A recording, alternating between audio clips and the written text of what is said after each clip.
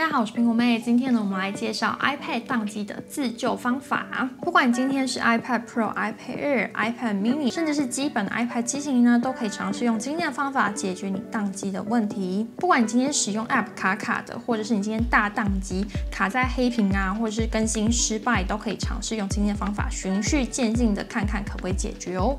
那 iPad 它的指令呢，主要有分为全荧幕款跟有 Home 键的那一款。那我们今天都会示范到。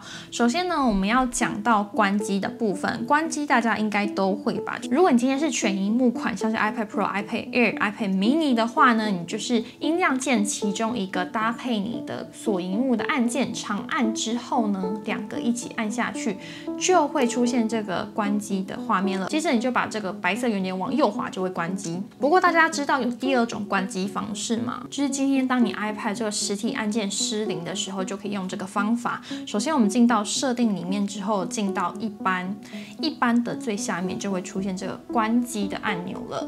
关机在这边。那如果你今天是有实体 Home 键的那个机型的话呢，你要关机就是直接按上面的这个锁定荧幕的按钮，长按之后就会关机了。不行的话，也可以用刚才的方式进到这个设定里面按关机就可以喽。再下，我们要进到强制重新开机你的 iPad。那这个部分呢，也是有分有没有 Home 键的机型的。首先呢，我们来示范，如果你今天是 iPad Pro、iPad Air、iPad Mini 这一类全荧幕的机型的话呢，要怎么样强制重新开机哟？那我们现在呢，先解释一遍手势，等一下再实际操作。首先第一步呢，要找出离你锁定画面按键最近的音量键。那在这个机型上面呢，会是上音量键嘛？那有些机型它可能会是右边的这个按键，所以就是看哪一个离你的锁定画面按键最近。找出来之后呢，按一下这个音量键，再按另外一个音量键，接着呢，长按这个锁定画面按键，直到出现 Apple logo 呢，就可以放开了。那我们现在呢，实际测试一遍哦。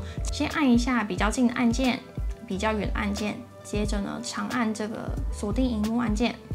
那出现这个画面之后呢，不要放开，持续按着。我们要等到出现苹果 logo 才可以放开哦。好，现在可以放开了，这样子就重新开机喽。那接下来呢，我们来讲一下，如果你今天是有 Home 键，也就是主画面按键的话，要如何强制重新开机？非常简单，只要按住主画面的按钮，还有你的顶端按钮。同时按下去，直到出现苹果 logo，就是重新开机喽。那如果强制重新开机也没有办法解决你的问题的话呢？下一个我们要让 iPad 进到复原模式。那进到这个模式呢，必须要准备你的电脑还有连接线，不管你今天是使用 Mac 或是 Windows 电脑都可以。那当然呢，如果你用 Windows 的话呢，就要有 iTunes。好，那首先呢，我们用这个连接线连接我们的 iPad 跟电脑。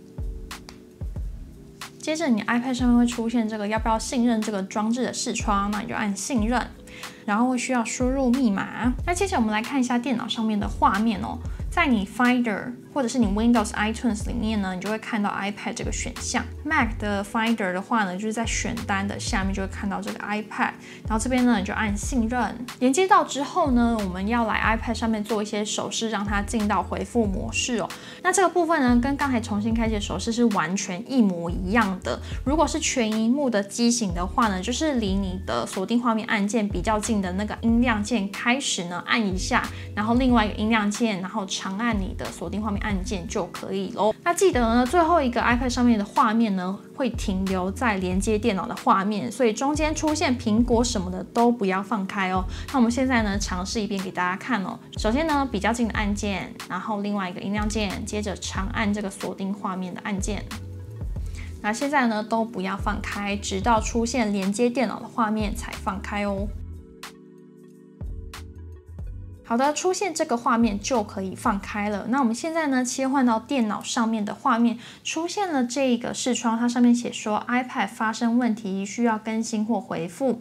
那注意一下下面的内容非常非常重要。首先第一段，他说如果你今天是更新失败，就是在中间卡住的话，你可以按这个更新，或者是你今天有任何问题，也可以尝试更新。但是注意一下，如果你更新没有用的话呢，你可能会考虑下面的回复回。复这个按钮按下去之后，它会重置你的 iPad 里面的资料会全部清空，所以要非常注意哦。那如果你平常非常勤劳，有用你的电脑来备份你的 iPad 的话呢，它上面会出现一个从此备份回复到 iPad 上的选项，所以大家可以先尝试更新，然后等一下教大家跳出这个模式，看看有没有用。那如果没有用的话呢，你你可以先联络一下苹果那边，看看要不要送修。那最后呢，这个回复是最后的选择。那如果今天什么事情都不想要做，想要跳出这个模式的话，按一下这个按钮这边。那接着在 iPad 上面呢，要离开这个模式非常的简单，你只要长按这个锁定画面按键，它就会开机了。好，这样子就成功喽。那如果你今天是有 Home 键的机型的话呢，也非常简单。你今天连接到电脑之后呢，操作一遍刚才我们重新开机的手势，就可以进到回复模式喽。那刚才我们说过那个机型的手势呢，它就是按住 Home 键跟这个电源键，不要放开，然后等到有连接电脑画面出现呢，就进到这个回复模式了。好，那我们今天这个 iPad 当机自救小技巧就到这边，希望大家都有成功修复你的 iPad。那如果这部影片有帮助到你的话呢，也希希望你可以帮我按个赞。那如果想错过更多更有趣的内容的话呢，也欢迎订阅我的频道哦。那我们今天影片到这边，我是平